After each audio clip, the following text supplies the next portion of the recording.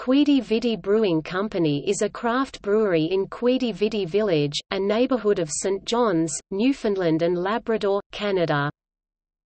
Founded in 1996 by David Rees and David Fong, Quidi Vidi Brewing Company is the third largest brewer in the province of Newfoundland and Labrador, after Labatt and Molson.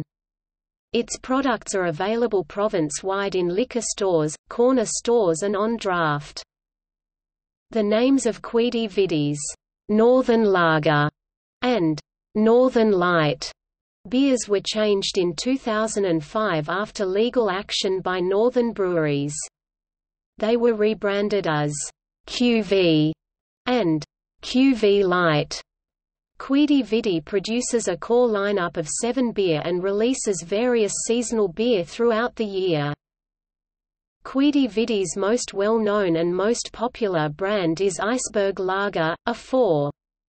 5% North American-style lager brewed from water collected from icebergs that are commonly found off the coast of Newfoundland and Labrador.